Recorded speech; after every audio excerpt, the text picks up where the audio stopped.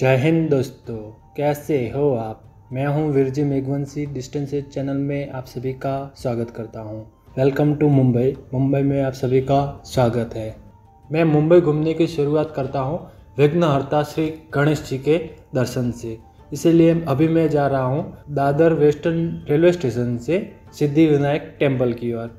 रास्ते में ही छोटा सा हनुमान जी का मंदिर भी पड़ता है। जय हनुमान दादा। हनुमान जी के दर्शन करने के बाद हम आगे बढ़ते हैं गणेश जी के मंदिर की तरफ़। विघ्नहर्ता पार्वती पुत्र श्री गणेश जी का मंदिर बाहर से कुछ ऐसा दिख रहा है। अभी बाहर का कुछ नज़ारा ऐसा है। चलो अब चलते हैं मंदिर के अंदर और विघ्नहर्ता के दर्शन करते हैं।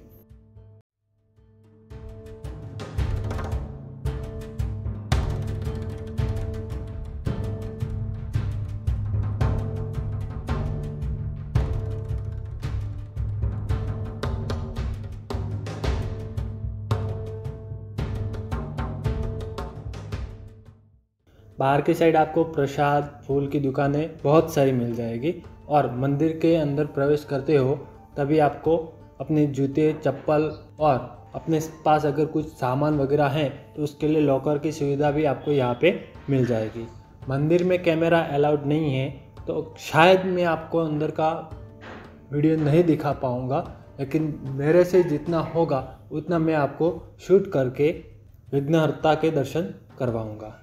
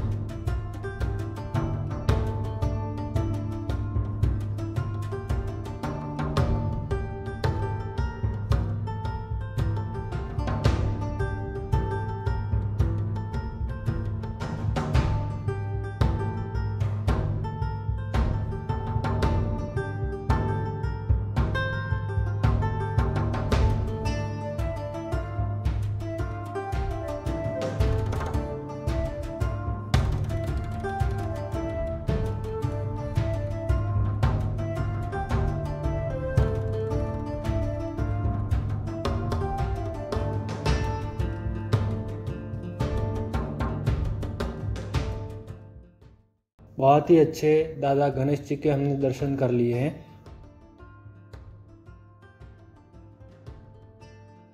अभी हम आगे बढ़ते हैं।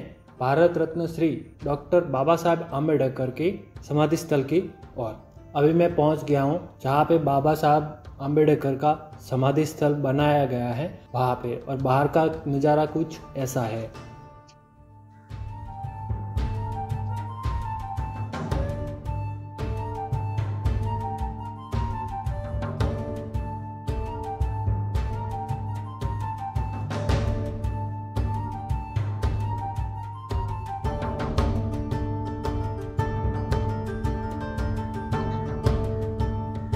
और यहाँ से आपको अरब सागर का व्यू यानी कि बांद्रा वर्ली शिलिंग भी आपको यहाँ से दिख जाएगा।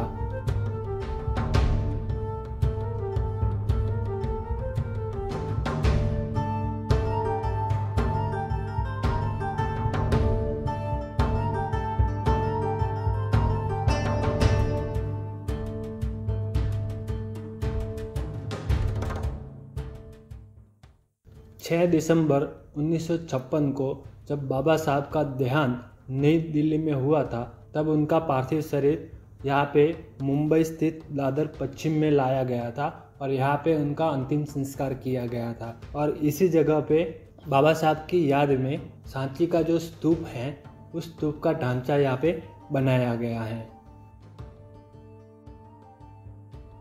और इस स्थान को चैतन्य भूमि के नाम से जाना जाता है।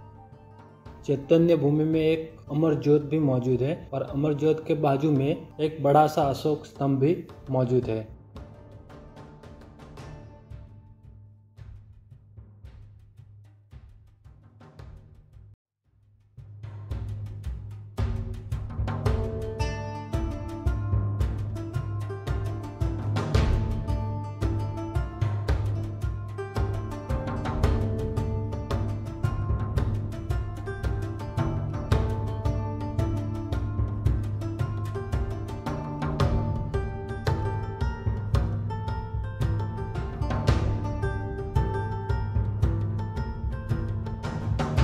बाहर की ओर एक छोटा सा और भी गार्डन है।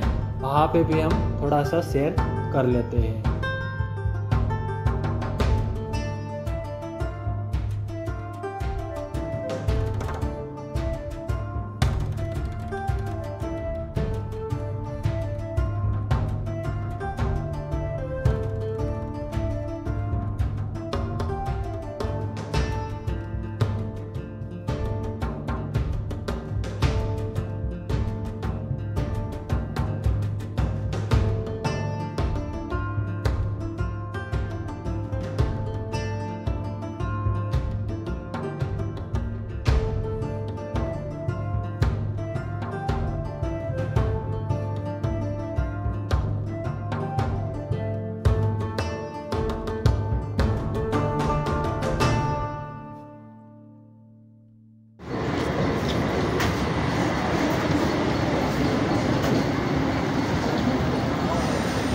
इतना घूमने के बाद अभी मुझे थोड़ा रेलवे स्टेशन पे थोड़ा कुछ काम था, इसीलिए मैं मुंबई के सेंट्रल रेलवे स्टेशन पे आ गया। सेंट्रल रेलवे स्टेशन पे मेरा काम ख़त्म करने के बाद अभी मैं जा रहा हूँ हाजी अली दरगाह की ओर। यह हाजी अली दरगाह जाने का रास्ता है। यहाँ से हाजी साहब की कब्र, यानी कि समाधि के लिए आप चादर वगैरह भी ले सकते हो।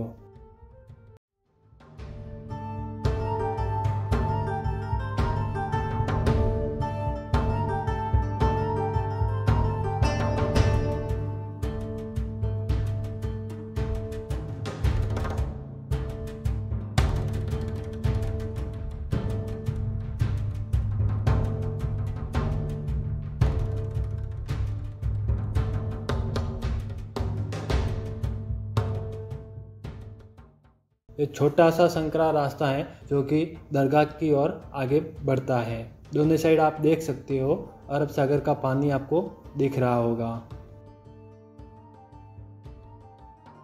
मेरे साथ मेरा छोटा भाई भी मौजूद है, जो कि इस बार मुंबई घूमने के लिए आया है। उसके मन में बहुत ही लालसा थी कि मुंबई सिटी कैसा है, उसे एक बार देखना था। इसीलिए मैं उसको एक बार साथ ले आया। पिछले चार साल से मैं देख रहा हूँ, हाजी साहब की जो दरगाह है, वो अंडर कंस्ट्रक्शन में ही है। पता नहीं इस दरगाह का काम कब तक ख़त्म होगा।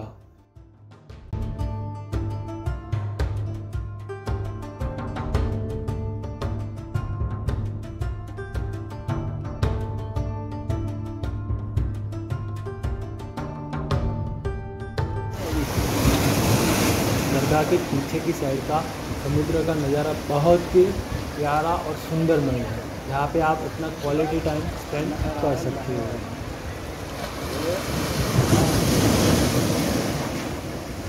कैप्चर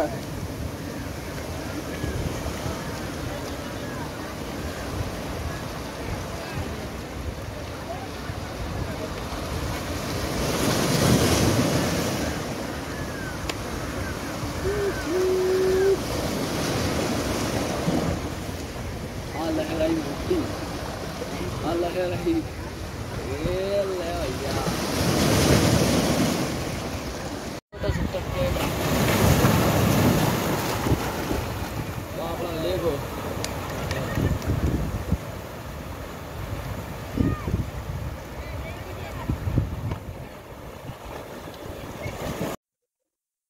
अली साहब दरगाह पे मैंने दर्शन बहुत ही अच्छे किए। अब जब मैं यहाँ पे दर्शन करने के बाद पीछे की साइड समुद्र किनारे थोड़ी देर शांति से बैठा था तो अपने एक भाई यूट्यूबर भाई है ज्ञानेश्वर जी वो हमसे मिले और उन्होंने बहुत ही अच्छी जानकारी मुंबई के बारे में बताई। तो ज्ञानेश्वर जी कैसे हो आप? बस ठीक हो आपकी दुआ है सब। और आप यहाँ पे हाजी अली दरगाह पे दर्शन करने के लिए आए हाँ, कैसा लगा आपको? बहुत अच्छा है बहुत बहुत मैंने मतलब भगवान से प्रार्थना की है कि सबको ठीक रखे और मैं हमेशा आते रहता हूँ यहाँ पे और अभी बहुत जगह पे मैं भी ब्लॉगिंग कर रहा हूँ तो आज मैं एक्सप्लोर किया यहाँ पे कि और डिटेल्स में कि क्या और यहाँ पे चीज़ें हो रही है होने वाली है। सामने सामने पीछे आप देख कि यहाँ पे पूरा कोस्टल रोड हो रहा है। ये तीन चार सालों में पूरा चल रहा है काम अभी बस एक डेढ़ साल में पूरा पूरा कम्प्लीटली हो जाएगा। पहले यहाँ पे ऐसा कुछ नहीं था तो पूरा सीन दिखता था अभी उतना सीन दिख नहीं रहा है। तो खाली जो पीछे दिख रहा है इतना ही एक रास्ता बचा है अभी जो सीधा जाएगा। बाद में इसको भी अच्छे से रिनोट किया जाएगा गवर्नमेंट की तरफ़ से बट अभी हो रहा है। थोड़ा थोड़ा करके काम हो रहा है। सो अभी यहाँ पे अगर थोड़े एक साल डेढ़ साल बाद आगे तो आपको बहुत सारा परिवर्तन दिखेगा। और आप आपके नाम से जैसे मुझे मालूम चलता है कि आप हिंदू हाँ। हाँ। है? और आप ये मुसलमान की दरगाह है। तो आपको कुछ अंदर कुछ ऐसा अनुभव हुआ या कुछ धर्म के रिलेटेड ऐसा कुछ हुआ? नहीं ऐसा कुछ है नहीं। यहाँ पे हर कोई आते रहता है। हम्म, सब ऊपर वाले की दुआ रहती है। सो यहाँ पे मतलब ऐसा आना हाजी अली आना है मतलब ऐसा नहीं है कि आप हिंदू ही हो या मुसलमान ही हो। ये बाबा पीर का हाजी अली दरगाह है जो 1421 में बना हुआ है। तब से यहाँ पे हिंदू हो या मुस्लिम या कोई भी धर्म वाला यहाँ पे आता है। अपना माथा टिकाता है और आशीर्वाद लेता है। तो मेरे कहने का मतलब है आप ये मत सोचो कि हाजी अली है तो हिंदू हो मुस्लिम हो। आप कोई भी रहो आप कोई आओ भी धर्म के व्यक्ति हो तो कोई यहाँ पे हाँ, आके हाजी अली साहब की दुआ कर सकते कर हैं। सकते हैं ठीक है? और साथ ही में आप हाजी अली आते हो तो यहाँ से दो तीन मिनट की दूरी पे एक महालक्ष्मी टेंपल है आप वहीं पे भी ज़रूर जाना। और आप महालक्ष्मी स्टेशन से मैंने जैसे बताया था आपको भी पहले की दस मिनट वॉकिंग डिस्टेंस पे है ये बहुत इजी आप आ सकते हो मुंबई आते हो तो। तो चलेगा और आप जो है हाजी अली दरगाह है हाँ। तो बहुत सालों से उसका जो कंस्ट्रक्शन काम चल रहा है। हम्म। आपको क्या लगता है आने वाले कितने दिनों के या फिर कितने सालों में इसका कंस्ट्रक्शन काम अभी खत्म हो दो साल लगेगा ज़्यादा ज़्यादा क्योंकि थोड़ा कम ज़्यादा होता है ना ये बारिश के दिनों में पूरा बंद रहता है क्योंकि पूरा भर जाता है बारिश यहाँ पे। हम्म। बारिश में पूरा आधे से ज़्यादा डूब जाता है बट अभी तक अभी ऐसा मतलब आपको फील नहीं होगा कि कोई यहाँ पे डूब गया। हजरली अब आज तक नहीं डूबा इतना बारिश होता है मुंबई में आप सबको पता है। बट आज तक नहीं डूबा है। हाजी अली कभी डूबा था नहीं डूबेगा भी नहीं। नहीं डूबेगा भी नहीं।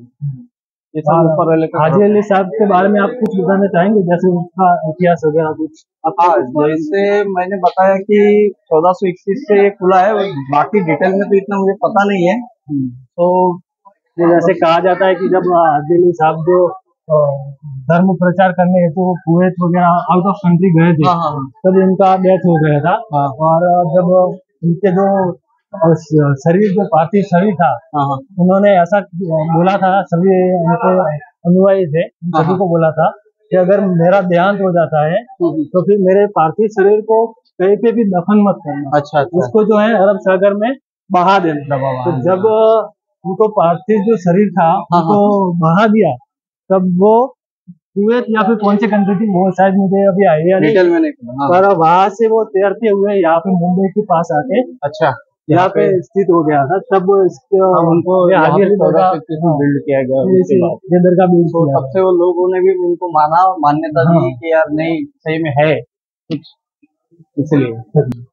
और मुंबई के बारे में आप कुछ बताना चाहेंगे? हाँ मुंबई में आने के लिए बहुत सारी चीज़ें है जैसे जू भी चौपाटी है हाजीली दरगाह हुआ गेटवे ऑफ़ इंडिया है मरीन ड्राइव है। देन अगर आपको मार्केट एक्सप्लोर करना है तो क्रॉफर्ड मार्केट भी बहुत अच्छा है। वहाँ पे बहुत अपकमिंग चीज़ें जो आती है, जो फ़र्स्ट टाइम फ़र्स्ट मुंबई में आती है, वो वहाँ पे मिल जाएगी आपको। आपको जाना है धोबी घाट जाना है तो बहुत साल पुराना धोबी घाट है, वो भी आप वहाँ पे जा सकते हो। देन आपको जैसे यहाँ पे एक फ़ेमस मंदिर भी है, अंबरनाथ में शिव मंदिर है, वहाँ पे भी आप जा सकते हो। और अगर सबसे बेस्ट मार्केट की बात की जाए तो कौन सा बेस्ट मार्केट रहता है? सबसे बेस्ट मार्केट बोल तो ऐसा मतलब स्पेसिफिक नहीं बता सकते क्योंकि पूरे मुंबई में अलग अलग जगह पे इतने मार्केट है कि आप कुछ बोल नहीं सकते। जैसे मैंने बोला क्राउफर्ड मार्केट दादर स्टेशन के बाजू में इतना बड़ा मार्केट लगता है आप कुछ सोच नहीं सकते। सीएसटी स्टेशन के बाजू में लगता है चर्चगेट स्टेशन के पास लगता है देन ऐसी बहुत अंधेरी में भी लगता है ऐसी बहुत सारी जगह और सबसे बड़ा चोर मार्केट भी यहाँ पे लगता है मैं आपको बताना चोर मार्केट कहाँ पे? चोर मार्केट है यहाँ पे सैंडस्टन रोड के पास उधर आपको मिल जाएगा। बहुत वहाँ से एक किलोमीटर दूर है दस मिनट के अंदर आप अगर पैदल चल के जाओगे तो मिल जाएगा या तो दस रुपए में टैक्सी वाला आपको छोड़ देगा चोर मार्केट। हर फ्राइडे को मॉर्निंग में लगता है। ओके ओके ज्ञानेश्वर जी आपसे बात करके बहुत ही अच्छा लगा। आपके चैनल का नाम क्या है सर? आ, मेरे ना, चैनल का नाम है अमरावतीचा पोरगा। तो please subscribe me okay. So you will express so much things in my channel Dnyaneshwar ji. Thank you so much thank you thank you दरगाह पे माथा टेकने के बाद अभी मैं जा रहा हूँ महालक्ष्मी मंदिर की तरफ़।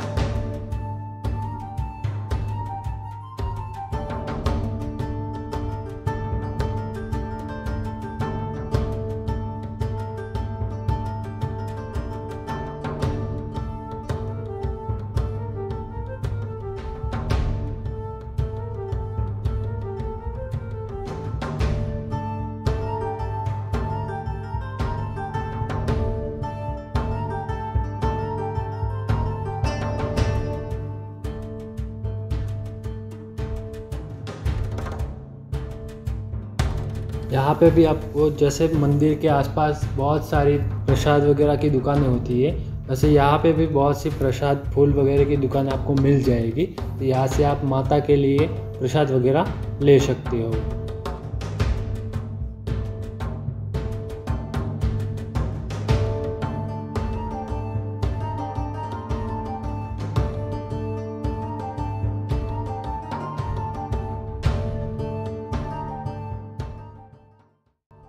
महादेवी महालक्ष्मी के दर्शन कर लिए हैं और अभी हम मंदिर के बाहर निकले।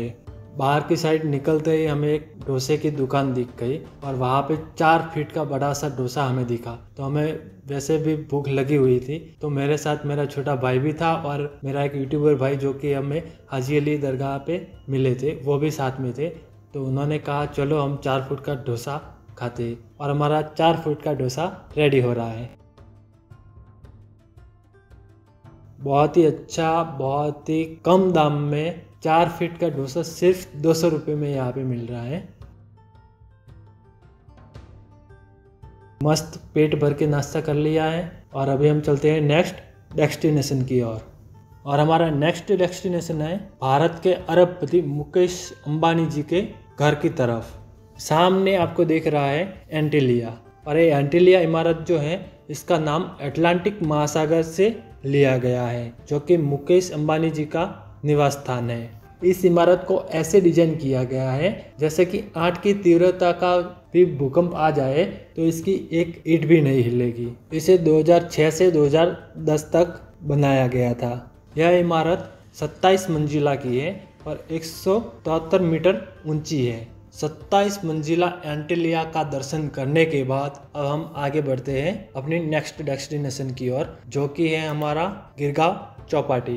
गिरगांव चौपाटी से कुछ 100 मीटर के अंदर पर यह एक छोटा सा मंदिर है, श्री बाबुलनाथ मंदिर, जो कि एक बहुत ही प्राचीन और अद्भुत मंदिर है।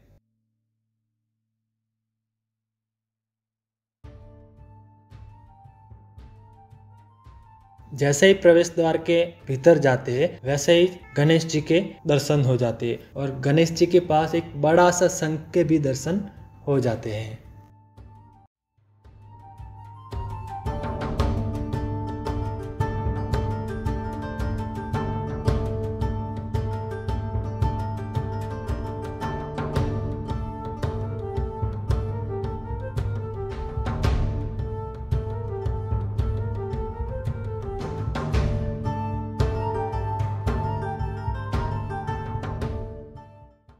यहाँ से निज मंदिर तक जाने के लिए कुछ सीढ़ियाँ आपको चढ़नी पड़ती है। तकरीबन 100 के आसपास सीढ़ियाँ होगी। अगर आप स्टेयर से नहीं जाना चाहते तो यहाँ पे एक लिफ्ट की भी सुविधा उपलब्ध है। एक रुपया दे के उस लिफ्ट में बैठ के तीन मंजिला मंदिर के ओर आगे बढ़ सकते हो। तीसरी मंजिल पे पहुँचने के बाद ऐसा कुछ नज़ारा आपको देखने को मिलता है।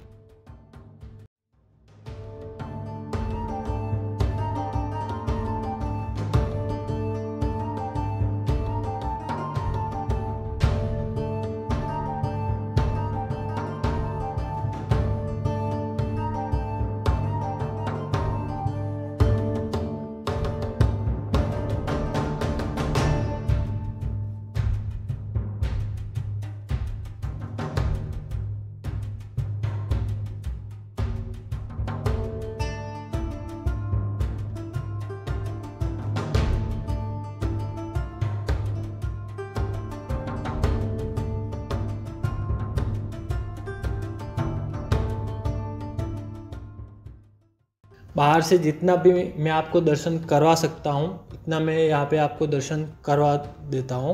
आगे जैसे ही आप जानते हो कि मंदिर में मोबाइल वगैरह अलाउड नहीं होते तो मैं आपको अंदर का नज़ारा नहीं दिखा पाऊँगा। लेकिन आप बाहर से बाबुलनाथ जी के दर्शन कर लीजिए।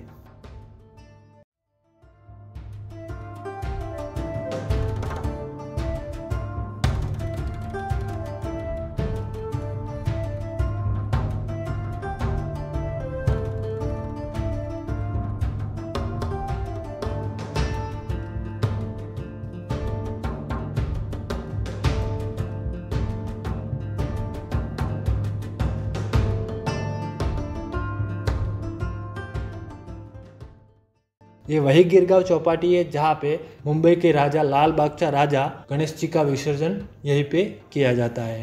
यहाँ से अब मैं लोकल बस पकड़ के गेटवे ऑफ़ इंडिया की ओर आगे बढ़ता हूँ।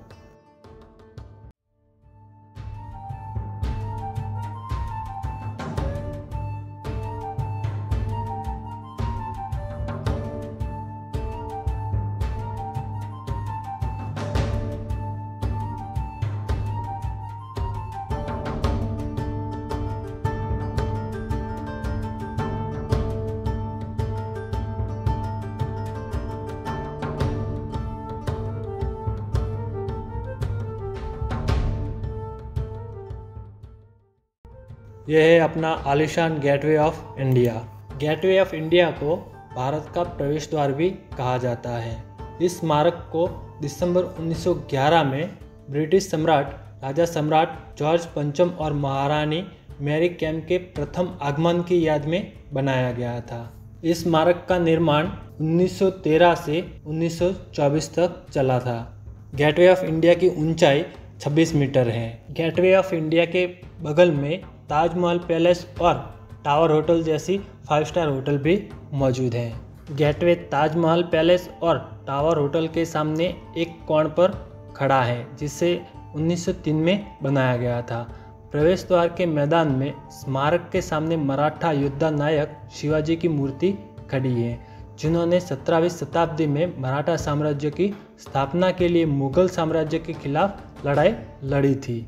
इस प्रतिमा का अनावरण 26 जनवरी 1961 को भारत के गणतंत्र दिवस के अवसर पर किया गया था। इसने राजा सम्राट जॉर्ज पंचम की कांच्य प्रतिमा का स्थान ले लिया। प्रवेश द्वार के इलाके में दूसरी मूर्ति स्वामी विवेकानंद की है। एक भारतीय भिक्षु को जिन्हें पश्चिम में वेदांत और योग जैसे भारतीय दर्शन की शुरुआत और हिंदू धर्म में लाने की एक प्रमुख व्यक्ति के रूप में श्रेय दिया जाता है। स्मारक के चारों ओर पाँच घाट स्थित हैं। पहला घाट भाभा परमाणु अनुसंधान केंद्र के लिए विशेष है, जबकि दूसरे और तीसरे का उपयोग वाणिज्य नौका संचालन के लिए किया जाता है। चौथा बंद है और पांचवा रॉयल बॉम्बे यॉट क्लब के लिए विशेष है। दूसरा और तीसरा घाट पर्यटनों के लिए धारापुरी गुफाओं तक पहुँचने का शुरुआती बिंदु है, जो स्मारक से नाव द्वारा 50 मिनट की दूरी पर स्थित है। तारापुरी गुफाएँ भारत में मुंबई के गेटवे ऑफ़ इंडिया से लगभग 12 किलोमीटर दूर स्थित एक स्थल है, जो अपनी कलात्मक गुफाओं के कारण प्रसिद्ध है। यहाँ कुल सात गुफाएँ हैं। मुख्य गुफा में छब्बीस स्तंभ है, जिसमें शिव को कई रूपों में उकेरा गया है। पहाड़ियों को काटकर बनाई गई ये मूर्तियाँ दक्षिण भारतीय मूर्तिकला से प्रेरित हैं और धारापुरी गुफाओं को एलिफेंटा केव के नाम से जाना जाता है। ताजमहल होटल की मुख्य इमारत का निर्माण इंडो सर्केनिक शैली में टाटा द्वारा करवाया गया था तथा इसे पहली बार 16 दिसंबर 1903 में खोला गया था। ताजमहल पैलेस होटल में 560 कमरे और चौवालीस स्वीट मौजूद हैं। गेटवे ऑफ़ इंडिया और ताजमहल होटल के अच्छे से नज़ारे देखने के बाद अभी मैं आगे बढ़ रहा हूँ मरीन ड्राइव की ओर। दोपहर के तीन बजे का कुछ नज़ारा मरीन ड्राइव पे कुछ ऐसा है। अगर शाम के वक्त यहाँ पे आ जाए तो ही कुछ अलग होती है। तो दोस्तों, इस वीडियो में इतना ही रखते हैं। मिलते हैं अगले वीडियो में। तब तक स्वस्थ रहे, मस्त रहे और नेचर को क्लीन रखे। जय हिंद।